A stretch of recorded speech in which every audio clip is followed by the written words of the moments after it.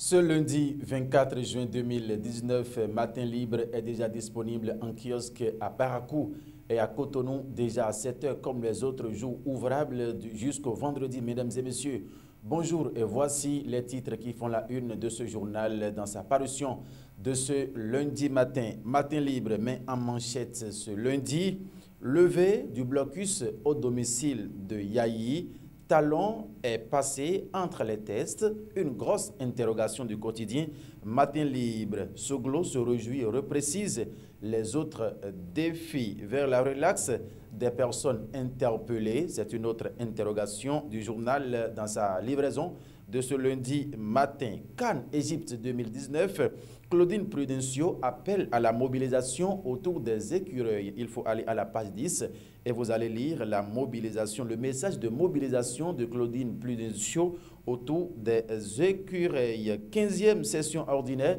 du MCA Bénin 2, un bilan mi-parcours. Cette information c'est à la page 6 du journal Matin Libre. En fausse manchette haut du côté gauche ce matin, il faut lire Reboisement et entretien des cocotiers à ces plages.